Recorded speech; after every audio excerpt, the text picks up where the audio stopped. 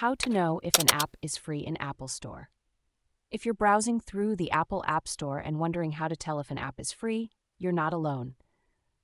Let's break it down step by step. When you find an app you're interested in, the first thing to look at is the button next to the app's name.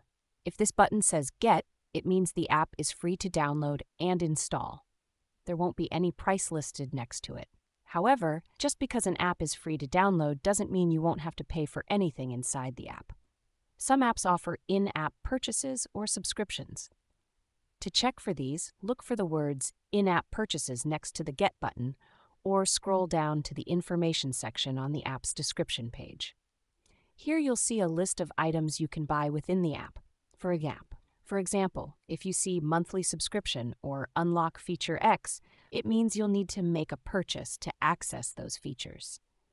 But you don't have to worry about being charged without your consent. You'll always have to confirm any in app purchase before it's made. To get a clearer picture, read through the app's description. Developers often explain what you can do with the app for free and what features require a purchase.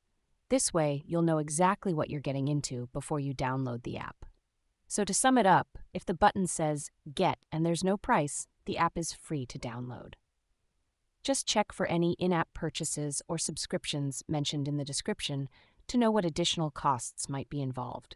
This way, you can make an informed decision and avoid any unexpected charges.